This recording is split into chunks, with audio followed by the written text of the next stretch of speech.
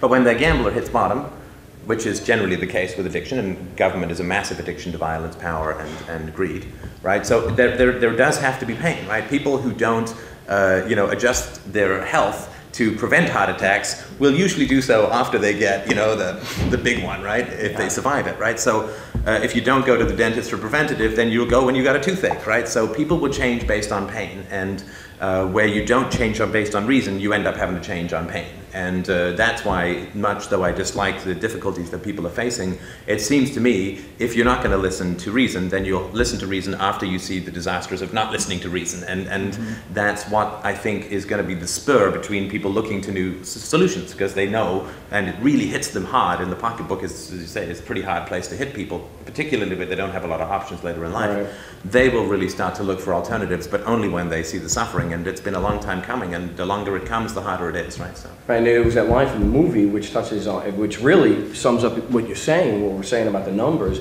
uh, from A Bug's Life, which we mentioned how many times. Those puny little ants outnumber us at least 100 to 1, and if they ever figure it out, there goes our way of yeah, life. We're done. So we're, they're done. So it's just a matter of keeping people from knowing that stuff, and that's why they keep you so damn busy. That's why yeah. you, you you know, it's calculated, all right, we're going, you know, everything that's happening now is being done for a reason. There, there, there's an object behind hyperinflation okay?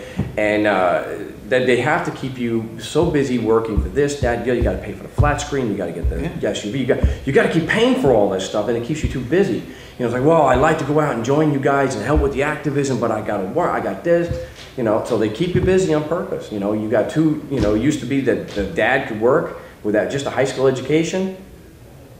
Now you need two parents, and they're still barely making it I think the government is starting to come around to the idea that the are getting smart and organized and so forth. When the when a judge sits down and looks out at 25 people standing there coming to support one guy, they know they're not going to be able to treat him the same way. So in a sense, I think as we see more and more of that, it will come to the point where they're just overwhelmed and what are they going to do? It, all they know is to respond with violence or propaganda, and the propaganda is just not working that much anymore. There's just not you hit they're hitting the gas and they're not getting much burn, right? I mean, you can see that. The talking heads are making the rounds about the stimulus package, and there was a massive silence, at least from what I could see, in terms of the general response to the population. Everyone's just like, you know, we've been panicked too many times to believe it anymore, mm-hmm. uh, and and I think that is is really really fascinating. That when people, when a society or a civilization as a whole, and this is larger than America, larger than North America because the same thing's happening in Europe. They're all out of cash and, and massively indebted. When it is a very dangerous time because it can go either way, right? And history is made by the choices and resolutions and integrity of individuals. History. I'm not a historical movement kind of guy. You know, well, this tide of the class warfare and this and that. It's made by the decisions and the courage of individuals. And um, when people are hungry for a new solution, uh, then they will need to get a very forceful and positive and emphatic argument for a new direction and you can't do that. Uh, to your point, you can't do that if you're the only guy on the block because you just look weird. You know, like yep. if, you, if you're basically standing on a soapbox on a street with no one around you, but if you've got 100, 200, 500,000, 10,000 people, then you start to look like you've got something. And it's a weird kind of thing, but people will judge based on the audience. The tree and how many other people are yeah, they're just following, right? and look up at the tree. Yep. Oh, there must so, be something up there. The, yeah. I, I, found it when I was uh, the only one who talked about these things in my social group. I found it very hard to be passionate and emphatic because you're staring into the thousand, thousand eyes of skepticism. You know, people just don't believe you, right? But when you're around people and you're in a community with people where you have that like-minded, you've shared that ideas, you realize you're not alone even when you're separated from that group, you gain that personal conviction. That's, a, I mean, we are herd animals to some degree. It's really hard to forward the truth just on your own.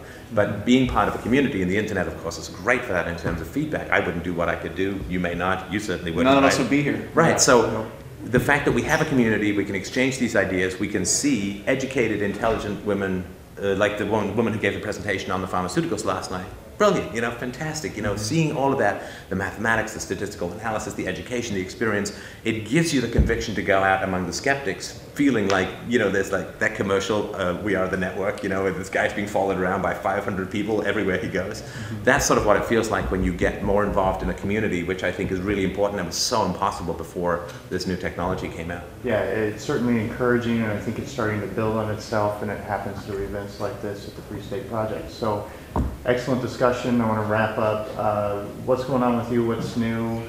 Well, I'm working on finishing the new book, which is going to be a lot more comprehensive than Adventures. Do you have a date yet? I- No. No? I can tell you we're about 35% done, but it's going to have an extensive cross-reference to the realm. Uh, It's going to have Canada, Australia, New Zealand, and England, although in England's, uh, it's a mess. Uh, So you'll, and you'll be able to see examples of how to do paperwork in each part of the realm. And then they'll be supporting, uh, like I talk about standing in corpus delicti, I'll have all the equivalent cases and whatnot so that people can go in and, and they can write their paperwork and they can go in. The scripts are gonna be adjusted for that. Okay. So that's in, and the show starts again on, on March 21st, No State Project on the libertynewsradio.com. Okay, great. And Stefan, what's new with you? Still doing the podcast? I'm doing the podcast a little bit fewer since I became a new dad, right? So that's cut down. Um, but uh, I'm started to do more current event stuff. Uh, this True News series. It was originally Naked News, but I actually found out that was taken. Shockingly, as was my outfit. People in. Russia, right? Yeah, yeah, yeah. So, and, and I figured that if anybody who wants to see naked news is much more likely to tune into some Russian woman than than you. say me, right? all that again. Absolutely, right. Anyway, so uh, so uh, I'm uh, my books are all out and for free. I'm working on a new book uh, because I keep getting this question, and how do I achieve? How do I help achieve liberty? How do I help bring this movement forward? Because I'm not into politics. Uh, uh, and I'm not into the legal action. Uh, I'm trying to find, uh, well, trying to disseminate a third way that I have, where people can take these kinds of uh, decisions in their life that I think will absolutely uh, build the foundation for a free society. So I'm working on that. Should be out in a month or 2 And uh, yeah, just keep doing the videos, keep doing the podcasts. Five million podcast downloads a year. We just passed one million YouTube views. Uh, so yeah, it's kind of cool. that at Freedom. Freedomainradio.com. That's right.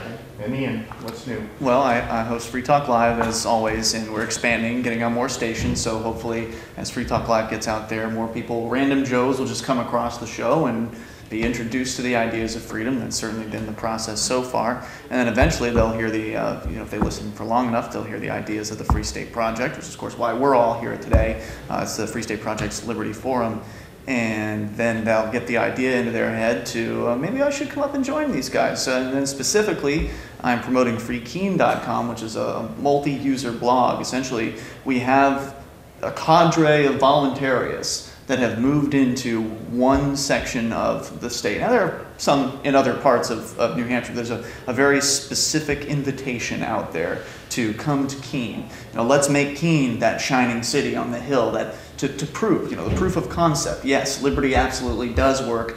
Here's the proof. And so we've got more voluntarist minded people moving to Keene all the time. And you know, if the politicos want to come in and do their thing there too, I think that's great because it'll give the, uh, the, the existing political people in town, the, the establishment, give them something to deal with. Because right now they don't have to deal with anything because the voluntarists aren't involved in that stuff. So there's all kinds of opportunities. It's such a great little place to live. Uh, it's, a, it's like a teeny little city, but it's got all of the amenities that you would need to have to, to, live comfortably. And so I think that by gathering as many liberty activists, not just in New Hampshire, but also specifically in, uh, in Keene, we're going to see, and we are seeing some amazing changes begin to happen. Sam recently moved in. Uh, there are more people coming. We've had the activist population, I think, triple within the last six months. So keep your eyes on uh, freekeene.com and watch what happens. And if you're having trouble making the transition, he will put you up at his house. Just remember I don't, I don't know about that. But Well, he- he's got a couch. He's got a couch he can stay on. that's right. Up there. All right, gentlemen, thank you for joining. Thank you very much. Thank, Thank you, you. Sam.